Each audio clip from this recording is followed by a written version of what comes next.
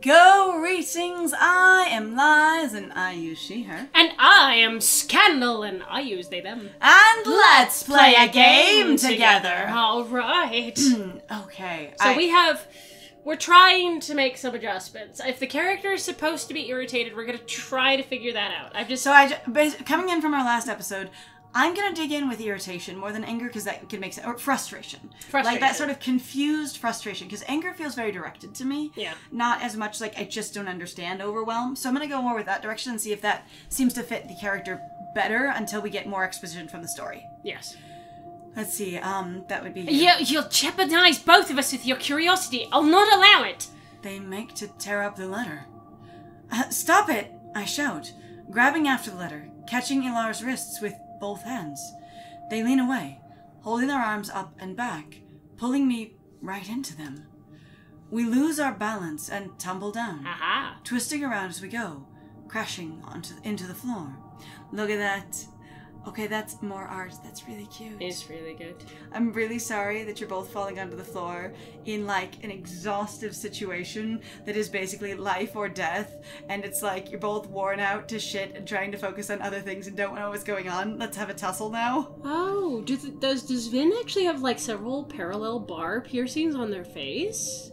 Um, Oh, they do. So there's one like across here? the bridge, and there's actually one up here in the middle too, like right between their eyebrows, like right here. see, do you thought see that? Just a center one, That's what I'm and saying. that's a bar. Yo, that's what I'm saying. Like, but there's like a parallel bar here, and, And then, then there's one up stud. here. Then there's like yeah, a stud here, and then there's obviously the one in their lip. Mhm. Sorry, I, I, but I'm like, hang on. Yeah, more piercings. Ah, because I didn't see that in the uh, picture. I'm not remembering that either, but yeah, that's it also kinda could be that it sort of bled into uh, the the other spots. Yeah. I'm still just like you have spots, and I love it. the spots are great. They're so good. Um, but that's the level between again, like it, this is very clear. I am grumpy and angry, and I am just sort of concerned. Going like, here we go again. It's more of this. All right. Um, crashing into the floor. The weight of them squeezes the air right out of me.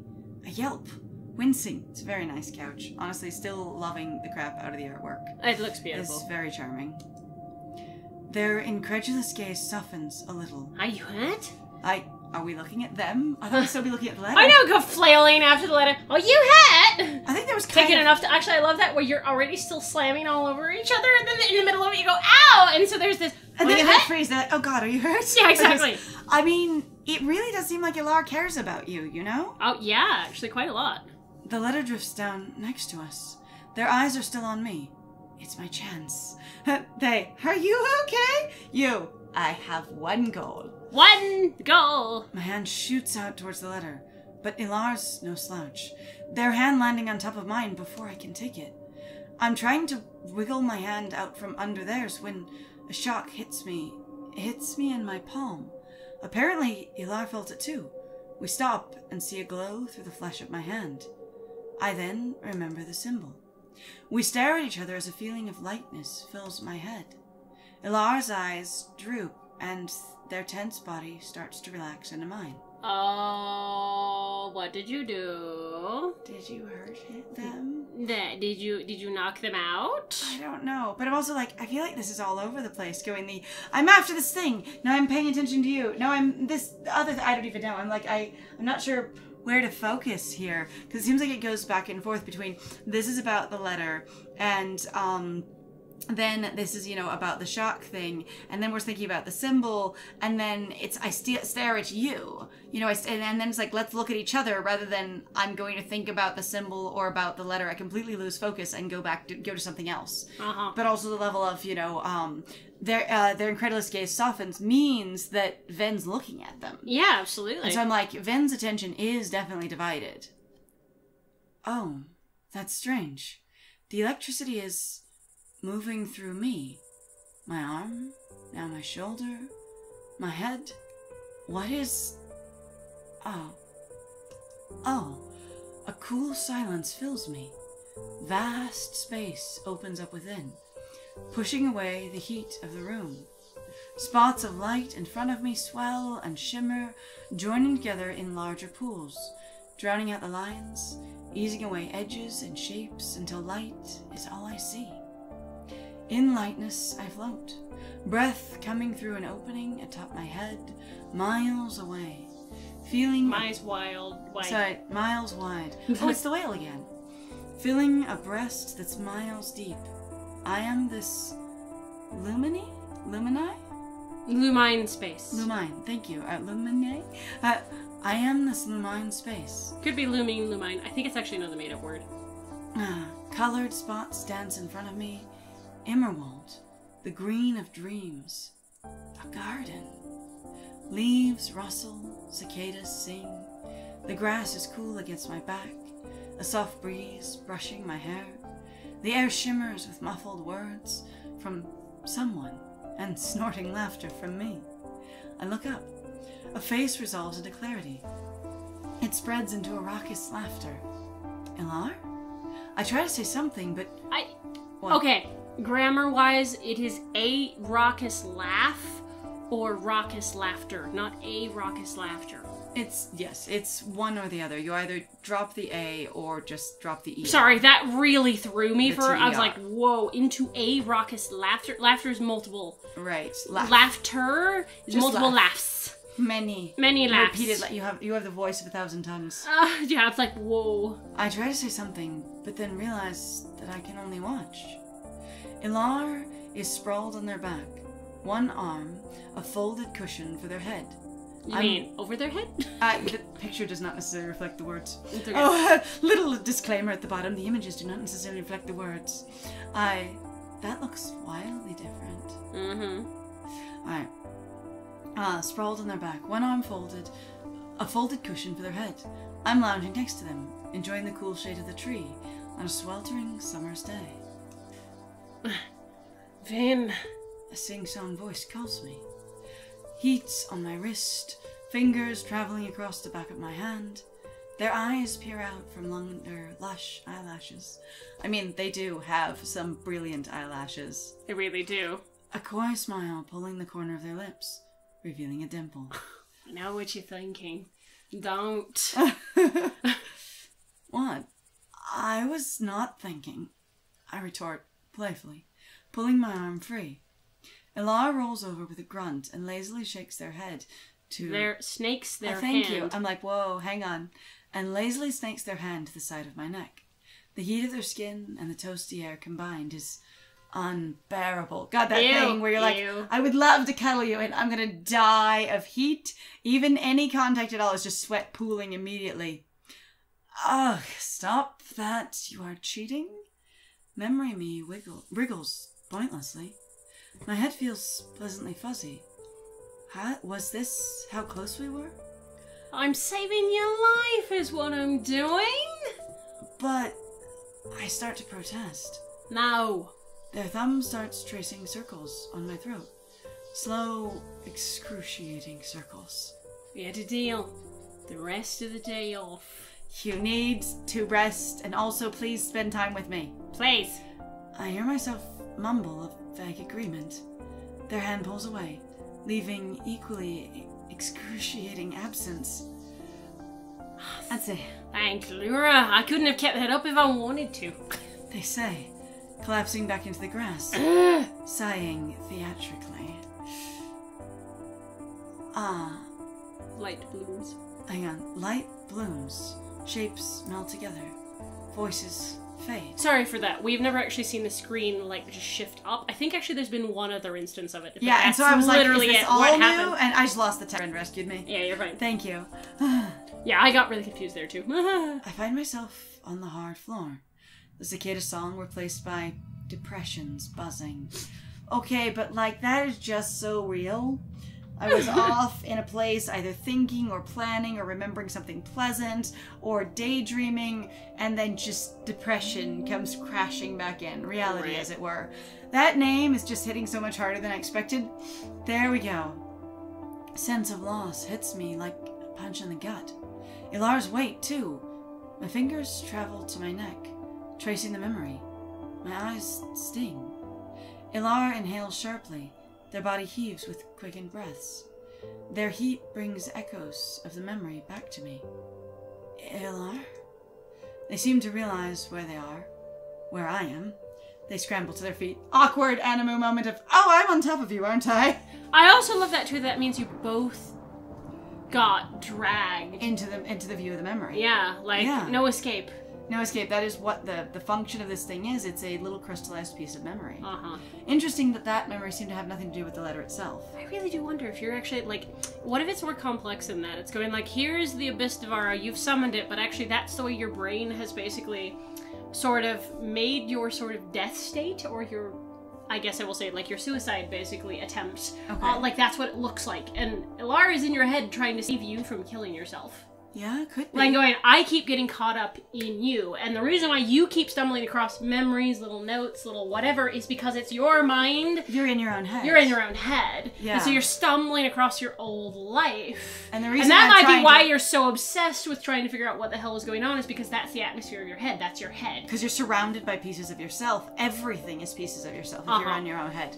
I like that. I think that's a neat theory. I kind of like that. Yeah. And then it would be a Largo, and you need to focus on getting to one part of your mind that will result in sanity Uh-huh. and the revival of you to consciousness. Yes. And going, no, but all these other things. And it's like if you get lost in your mind, you'll just never come back. And you'll also take me with you. and since I joined you in your mind, I too will die. Yes. Yes, that one. But I, I just love that. I will admire Ilar's eyelashes. We've all been doing that the whole game. Don't worry, honey. That's- it is a, a feature. I toast you. nice Yes. eyelashes, bro. I know, right? Good.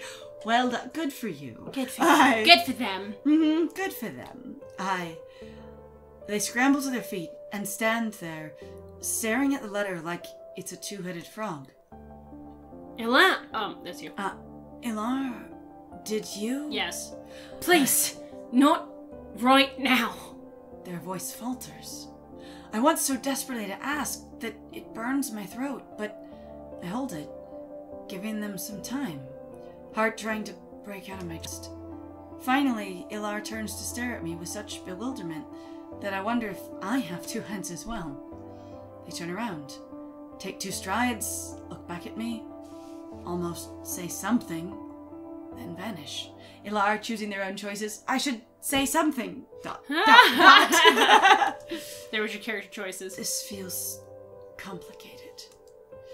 For a while, I just stand with my eyes closed, stroking my neck. Ooh, you added an E in there. There is no E. Yeah, I was looking at that too. I was like, stroking? Stroking. Stroking. It's Yes. like, okay, stroke. Stroke. Uh, take tasting the heat, almost hearing the cicadas. I would say normalize typos, but also get editors. or again, Or it might have normalize typos and get editors, not but. And. Yes. And and. Aye, but it doesn't last. The buzzing pushes the memory away, and I open my eyes to reality, sighing. I turn to the abandoned letter on the floor. Who knew you had such a secret? I tuck it safely in my pocket. I'll never let you go. Slumping onto the couch, I rub my temples. Magi are so complicated. Why couldn't I have woken up as a baker? Then the worst I would have had to worry about is burning some toast? Hi, not understanding the oven, failing to remember how yeast works. I was about to say, oh god, I don't think you've ever then been in baking, and both of us have actually Say, been in manufacturing. Forgetting all of your chemistry. like bakery manufacturing, and that stuff gets really complicated sometimes. Too late for that. I will just have to survive now and untangle the knots later. Maybe uh, after all this, I will take up baking. I wonder why baking and if there's a connection to it, other than, you know, Ilar was baking. I was about to say That's the reason I was kind of thinking of it was because your character goes something, you know, like baking. Uh-huh. Alara over there, I made you food. I bake for you. I beg for you. yeah. Aye. Taking a deep breath, I tell myself, rest for 50 breaths, and then return to the task. Gently patting the pocket with my new friend, I whisper, It seems it's up to us now. There's actually no S there. It seem it's up to us now. Oh, it seems. Yeah. I just forgot to nest. it. It's okay. It's fine. You will protect me, right? You'll stay by my side. A trickle of hope flows into me. One, two, three. Deep breaths, everyone. Breathe Breathe in. in. Hold. Breathe out. Fifty. Fifty. Also, if you're watching this and you know you wish to adjust your posture, sit up straight, realize where your crinks and uh, cracks are, Feel free to Do a little that stretch, now. take a little water. Uh huh. Drink some water. It's a good time for that. 50. All right. Time to go. I dodge through the swirling debris and soon stand before the massive desk, corralling my thoughts. What needs to be done? Copy the sigil, find the black salt, get something sharp, memorize the mantra. All tasks are done by reduction. Subtract, divide, execute. Brevity is magic. Magic is brevity. Is this new music? Oh yeah, it is new. Nice. Also, there was no is there. It just said magic brevity. Sorry, magic brevity. There we are. I'm adding words. There, they have extra letters. I had, I have read extra words. My heart is racing again at the thought of touching that awful page. I should tear it out and sink it into the abyss before it's, this is done, or else it might haunt me for the rest of my days. I imagine ripping it out and crumbling it, yeah, crumbling it into a ball, or maybe shred it into tiny pieces, or set it aflame. I would have said crumpling. It sounds very stiff with crumbling. Mm-hmm. A quiet. It could be because like some paper's really thick, so you're really like I feel like cracks I'm into pieces. crumbling. Yeah, But that also sounds very dry. yeah, extremely dry, and then it just crumbles into bits as you push it into a ball. I guess I don't know if it actually works that way. I'm not familiar with that use of the word. A quiet mewing drifts down from somewhere above, breaking me out of the grim exercise. I stiffen and take a step back, remembering what Ilar said about the dangers that Is, might is that a grim exercise to pretend tearing the book apart? Like that makes sense to me. Like if you're you're sort of like this is horrible, this book is terrible. This is a grim exercise. I mean, it's not like killing a person. Like I haven't connected to in the I was same gonna way say, emotionally. fiction is in your head. Uh huh. On the other hand, um, could be a grim exercise because it feels very dark to them. Mm-hmm. Going, I'm just focusing on destruction for coping, which coping in this kind of situation could be the grim exercise in itself. Right. Hum, my spine tingles. I swallow, look up slowly. From shadows above the giant shelves beside the desk, a melon sized black shape pokes out. My throat tightens, ready to reach for something to hit it with. Wait, is the head the size of a melon, or is the whole baby tiny like a melon? I need to know because that cat is adorable. That is a really Cat cute- is made of ink. Your cat has eyes in the dark. yes. So cute. Yes. The tails almost looks like feathers or something. Uh huh. It's really cute. A pair of pointy ears rise up from the shape and I inhale sharply. It's a puffy looking black cat. Divarna, you nearly scared the waters out of me. It blinks, sniffs the air, then hops down at the table, making nary a sound. The silence fills it. Is this Mr. Fuzzy Pants? I say this should be Mr. Fuzz Pants. I hope Mr. so. Fuzz Pants. I can't remember exactly what the name There's was. like I don't know if that's a window or a door. Looks like a door. It's a little ominous. But as a door way up on the wall, I wonder what else this room can do. I know. Because can you imagine doors way up above the desks, way high on the cavernous walls? Ooh, scary. And going, how do you use? What for? Spoopy, scary skeletons. Spooky, scary doorways. Alright. Um, pointy ears. Let's see. It blinks, sniffs the air, then hops down to the table. Reaching out a hand, I hunch down toward it. It approaches me warily, sniffing, glancing around, head Wearily, docked. not even Oh, wearily. wearily. Wearily's like tired. Tired. It is tired. It I think maybe you meant wearily, Wearily. because wearily is like exhausted. Maybe it is really oh, tired. it is occasionally wincing. Yeah. So that's just wearily like what is. Sniffing, glancing around, head ducked, occasionally wincing. It looks, it is messed up. Come, I will not hurt you. It stops just short of my hand and gives me a flat stare. I don't believe you. Ever so delicately, I close the gap and pat it on its head. It immediately purrs deeply and rubs its head into my hand. Eyes shut in pleasure. I tired, I grumpy, I sus. Oh, pet pets are good. I love pet pets. My heart ne- nearly melts. I think melts. Melts. I think melts. We're, we're dropping more letters as we go along. I okay. stroke it all over, feeling its lush fur and the extravagant fuzz on its hind legs. But got if it's very pants. fluffy, then it should not have fuzz.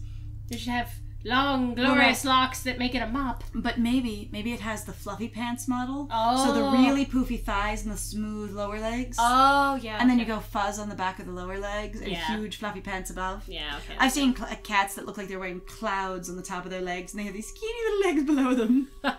It's true. and the, the picture picture supports that a bit, even if the pictures are interpretive to the letters, to the words. Yes. The, the, yes. I I just love the idea of going a pet, a pet, a pet harder. I am full invested in petting. Pippins! Here we go. By the Divana, Fuzzpants. Excitement vibrates through me, breaking my voice. Ah! Uh, Fuzzpants. Fuzzpants bumps their head firmly into me and purrs. I was starting to worry about you. Where have you been all this time? Are you hurt? Oh. Oh, here we go. Oh, no, no. Wait, no, no, that's me. you. okay, okay. I was like, did the cat talk? Hang on. Do you remember me? I read all about you. I read about you in Ilar's letter. I scratched behind. I scratched her behind the ear. I love that. Those are neo pronouns, yeah? Yeah, they are. That's so cute. I scratched her behind the ear. Zemzer, I wonder? Depression makes a grating buzz. I, depression sneaks into my head even as I do a joyful activity that is something I like. Sometimes depression makes it hard to enjoy things that you love. Uh, yeah, pretty much. Profound. I am liking this more and more. And Fuzzpants ducks away, ears flattening, visibly agitated. As he turns around and leaps atop the shelf, I let out a silent, wow. Wow. as he stands and looks back at me, tail swishing. This sounds like a, a whole bunch of memory. Uh huh. Like, I clearly remember you. I remember your pronouns. I even probably remember like how to pet you and that we were close, kind of thing. And I'm excited to tell you what I ha- you know heard about you. And mm-hmm. I'm like, if we've been so attached to our memories, wouldn't we be excited about remembering this as well? Right. Anyway, wait, where are you going? Z raises one paw and jabs it twice in front of Zer. The gesture is so purposeful that I raise an eyebrow. Z flattens her ears, swishing their tails. Tails? Do you have multiple? Do you have Tails? multiple tails? I suppose it's possible, like here and here, but it might also be an extra S. Okay, double, double, double-tailed cat. I mean, I'm fine I would with be that. for it. Yeah. Then jumps down, head bumps me, and leaps up again. Huh? Oh, what's the matter? Lassie, follow me! Come this way! Come here, dum dum. I don't you want to be back with your human? Ilar? They'll be so excited to see you. Fuzzpants blinks, swishes her tail, then pads off into the gloom. I hope I'm pronouncing that correctly. I, I think so. I've actually never heard anybody ever say it out loud, so I don't know. Okay. Um, I'm trying to remember if I have. Hey, wait. And they're gone. I say, dejectedly looking up. The beams and joints high above me still seem quite intact. I can't tell at all where the cat has disappeared to. It could probably get to anywhere in the library from there, or even the other places in the tower. For a blink, I wish I am a cat. Do we know it's a tower? Have we remembered it's a tower? Has it been called a tower before? Uh, no, no. We saw the tower on the outside before. Remember, we kept walking, so we literally walked into the building. But that was before we woke up with no memories at all. I am, I am assuming actually that was a part of the experience, though you didn't know who you were. In the very beginning, we were like, "Who am I?" Blah blah. blah. We because remember we Oh, started in the garden and we saw the tower, and, And so our character still remembers that and has assumed from the beginning that this room is inside that tower. yes, Okay, I didn't make that connection until now. yeah, I did. I was like, I, I've just. Also, meme for a blink. I wish I'm the cat. I wish that were me. I wish that were me. I wish that were me. God, I wish that were me. Yep, that's the one. I smile, recalling the softness in my hands. Z's as temperamental as they're human. That fuzzpants. Too bad. I'd have liked to bring her to Ilar. Then again, I might get another earful of weird For an earful for Wasting. wasting time on directions. Distractions. Distractions. Fuck, I'm not even looking. you can't read either. It's Um, okay. Welcome to hell. Pardon us. None of us can read at the moment. It's Uh-huh. okay. I can almost hear Ilar's accusing tone. Like I gotta give it to you. One of the things is this is like again still interesting story. It is also like the pacing and the way that this is written is really much more of like a chill, mellow thing that will just fucking put me to sleep. Like, and I mean that in The the most affectionate kind of way. The, it's mu- so pretty. the music doesn't help. I'm like, I would just In the turn, best kind of way, if that's what you're going for, this is the way to fall asleep. I would just turn this thing on and fall asleep to it. Like this is my my noise for sleep time. Uh-huh. It'd be great. Just put this game on in the background, tuck yourself in. Good night. But also, I'm, I'm not having the same problem falling asleep as my, or like like in the same way as my friend right now. But I definitely have it with some games for sure. Yes. Because both of us are constantly tired in so many ways. It's true. Peering up again, I click my tongue. You'll be back sooner or later, right? I could use a friend. I pat the paper in my pocket. I mean, I sigh, forcing down the pang of loneliness. Enough. I need to get that spell. I straighten my spine and nod to the journal. You and me, journal. We're gonna have it out being like just you and me. One on one. It's single combat. There we go. Single oily combat. Wait, Uh, singly papered combat. paper cut riddled oh combat. Ouch. god, ow. Can you imagine you're in a, you know, one of those fighting games and your opponent is made of paper and they Mm. have the, you know, fighting I can punch you, kick you kind of thing, but also, you know, the magic moves. Uh-huh. And they just shoot paper at you and you're like paper cuts, paper cuts, paper cuts. Ow, ow, ow, ow, ow. Oh god, that'd be so bad. On the other hand, like if you have any kind of a bladed weapon, you know, you can deflect everything. Right. Yeah. Or you know, you, could, Uh-huh. you could defend with wind. You know, it's rock paper scissors kind of I was about to say,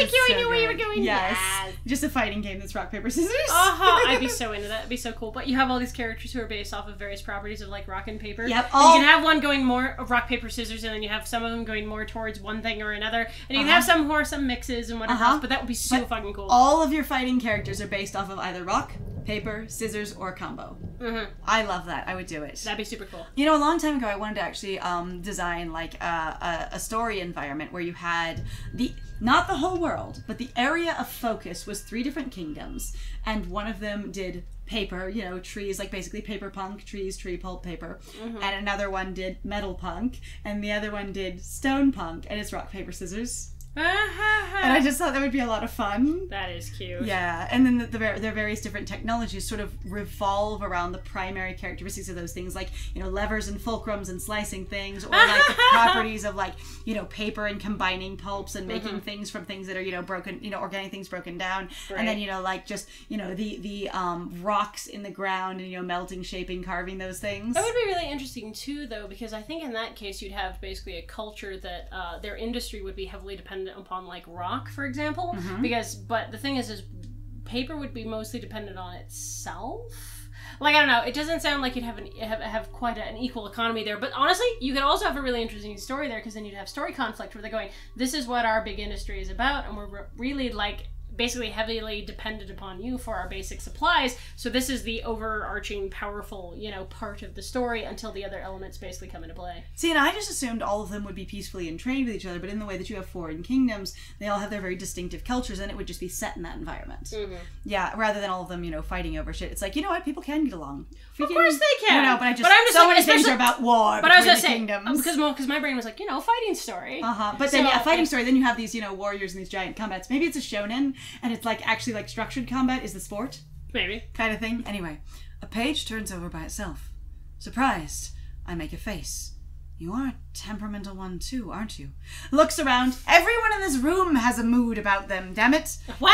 Cat, moody. Ilar, moody. Moody. Depression, moody. Moody. Book, moody. Moody. The other, you know, um, You monster also thing, moody. moody. You, very moody. The entire game, hashtag moody. This is what we are temperamental Temperamental. I turned to page 58 with extremely cautious optimism.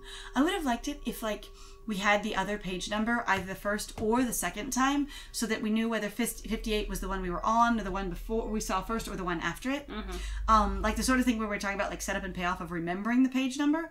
It also seems like our memory is ever increasing, and I wonder if that's supposed to be subtle exposition if you're just supposed to pick it up as a player, mm-hmm. or whether they just haven't remembered to point it out in the way that they were previously. Right. Uh, um, that that has been also again though if your character's just trying to focus on getting through this, that would make more sense if they're not pointed out going, "Hang on, I remember that." because they're not uh, they're not focusing on it anymore. That the thing of getting a memory back and going, I might understand some of the gravity of you know now finally Ilar's position, Right. and so I'm really just going to focus on this instead of myself, as it were. Yeah. Extremely cautious optimism. A quick darting peek at the sigil. No whispers. I resist the urge to lean in and listen. Strongly. So far, so good. I place upright an overturned pencil holder and pick out a 2B, 3 milli thickness.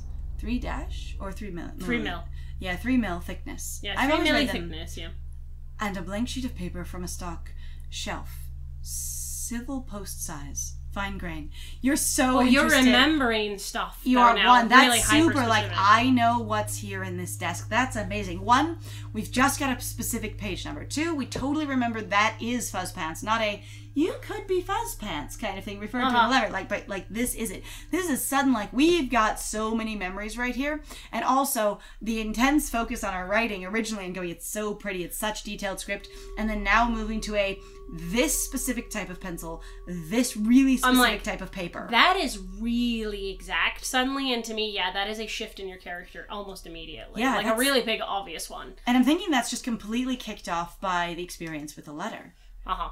I haven't noticed these details. Aha! time. Thank you! Lost memories trickling in.